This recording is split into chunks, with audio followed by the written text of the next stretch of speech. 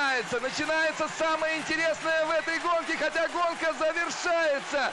13 номер Евгений Дементьев выходит на финишную прямую. Ну что, он близок сейчас к победе. Ничто не может сделать ни Пинер Котрер, ни э, Фруде Эстел. Вот это да! Евгений Дементьев, олимпийский чемпион! Я восхищаюсь! Браво! Детство, наверное, у меня было такое же, как у всех. Помню, что мне до школы нужно было ходить недалеко. Поэтому не дорога а к школе меня привела к лыжам, это точно. Евгений Дементьев родился в поселке Таежный Ханты-Мансийского автономного округа, воспитанник Валерия Ухова, олимпийский чемпион 2006 года в дуатлоне, серебряный призер Олимпиады в лыжном марафоне на 50 километров, серебряный и бронзовый призер чемпионатов мира в эстафетных гонках. Ну, у нас поселок маленький был, особо секций не было много. Была лыжная база. Вот мы ее не секцией называли, а лыжная база. То есть она стояла, это старое здание бывшей библиотеки. Вот, да, рядом новое построили, и оно так. А на пути моего в школу, то есть я, я все время проходил мимо этой лыжной базы. Вот. Потом в школе, общаясь с одноклассниками, с сверстниками, то есть которые уже ходили туда, я тоже пошел, мне там ну, понравилась компания, мне понравились ребята, которые там занимались. Ну, могу сразу сказать то, что там было классно. Вот это 98 год. Мы ходили смотреть Олимпийские игры. Нашу часть поселка свет отключили. У нас зимой такое часто раньше случалось, когда морозы было.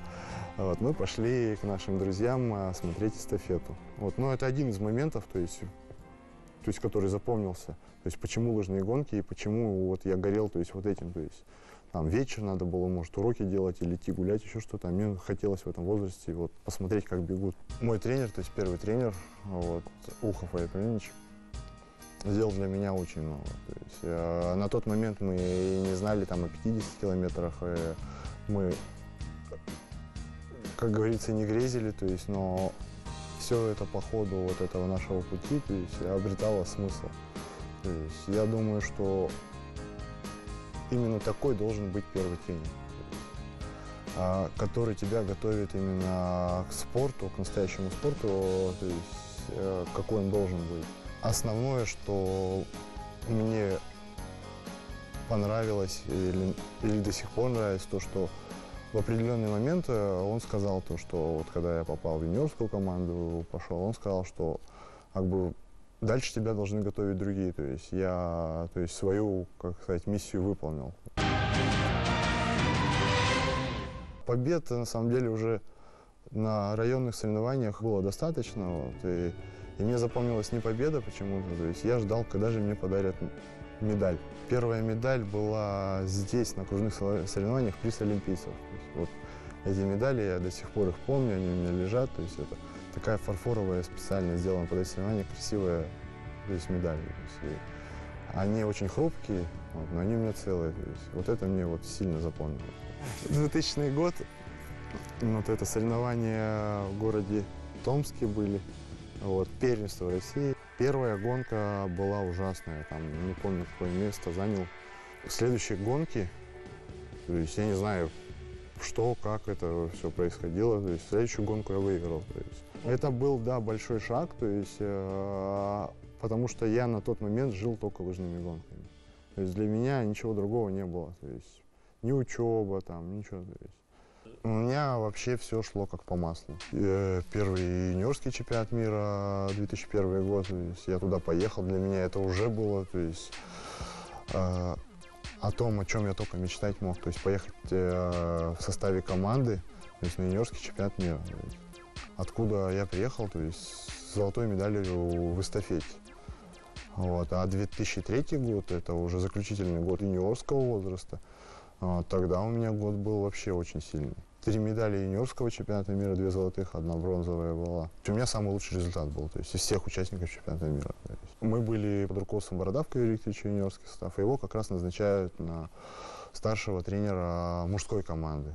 Соответственно, мы выходим из юниоров в мужской спорт. То есть, и он нас всех переводит, э, то есть мы остаемся под его руководством, то есть э, методика меняется, все остается так же. Я на Олимпийские игры не отбирался до последнего момента. Пока все, то есть и главный тренер, это на тот момент была Вяльба Елена Валерьевна и э, старший тренер Бородав Викторович, которые сказали, этот человек поедет на Олимпиаду, вот, то есть э, отборами его ну, не будем мучить. Вот, и отборы проходили в Сахазоре в Армении, то есть такая есть высокогорная база. Вот, и я туда не поехал, а поехал на Кубок мира в Италию, в Альдефиеме. Где вот к, ровно за месяц я как раз заехал вторым на Кубке мира. То есть тем самым я выполнил норматив отбора на Олимпийские игры, от которых я был освобожден, как говорится. Вот. И тут я, наверное, как говорится, выдохнул, потому что до этого момента я все равно, у меня была большая нервозность, потому что результата не было. Наверное, мечту, которую вот тогда, в 98 году, я видел, смотря вот эстафету, то есть я, наверное, ее уже осуществил. То есть парень с поселка, то есть поедет на Олимпийские игры. То есть для меня это, наверное, была уже мечта. То есть не медали, еще что-то. И это, я считаю, что очень сильно повлияло на мой результат в итоге.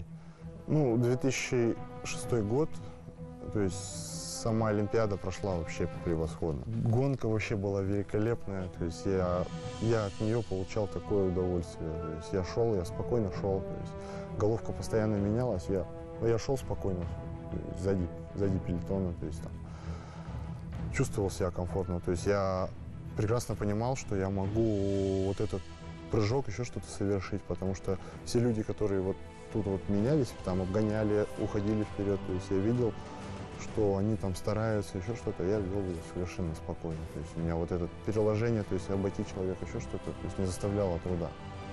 А финиш, когда мы ехали на спуск под мост, я знал, что я, я качусь четвертым, то есть я как бы на Олимпийских играх, то есть а, родители это видят, то есть я думаю, да блин, меня в принципе, четвертый это уже здорово.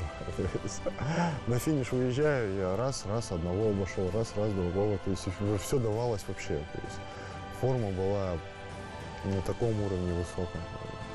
Ну, когда заехал первым, то есть, конечно, поверить в это было ну, очень сложно.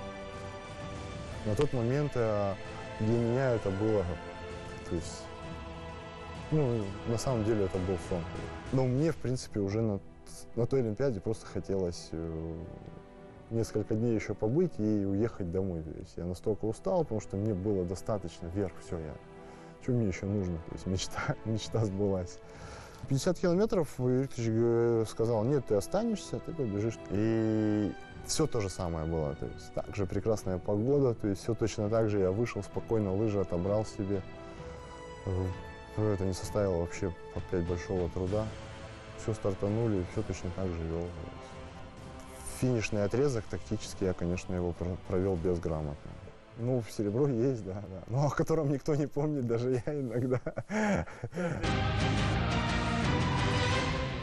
Но мне запомнилось не само награждение, это запомнилась песня Челентана. То есть, как бы ты уже все, у тебя все закончилось, и ты под Челентана идешь. То есть, то есть полный стадион трибуны. Так, то есть, вот это классно было весь поселок на самом деле радовался, то есть э, и мне это, ну, на самом деле было приятно. Как и для меня самого в свое время, то есть лыжи это был, то есть такой лучик света в какую-то, то ту жизнь, которую мы видели только по телевизору на трех каналах, которые тогда были, там 3-4 канала.